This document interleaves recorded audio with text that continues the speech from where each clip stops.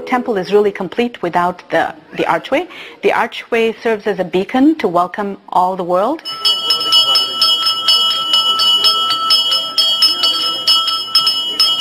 And we invite the whole um, world really to come and visit us and to see um, what we are all about.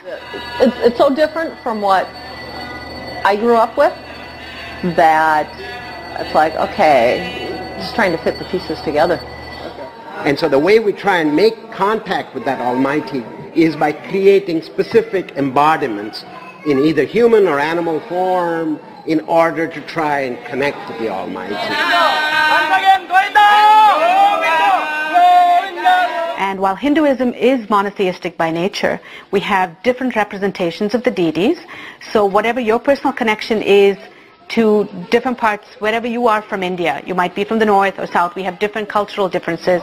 And these are represented in various mini temples and mini gods which are representing the true originals from India. Well, I'm one of the devotees who has been uh, fortunate enough to see our dreams come true after about 32 years uh, of hoping for building a place like this.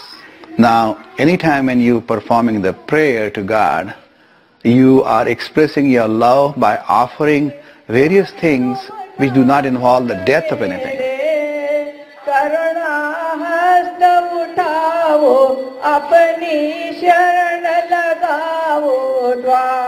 So you will be offering flowers, you'll be offering fruits, you'll be offering honey, you'll be offering sweets, which I love very much.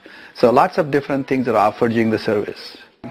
Because light represents knowledge, victory of knowledge over the ignorance, victory of brightness over the darkness, and victory of immortality over the death. So even when the prayer is done, that particular dish carrying the light is carried to the devotees and devotees put the hand on it and put on their forehead trying to get that knowledge, get that immortality, that get that truth inside your head.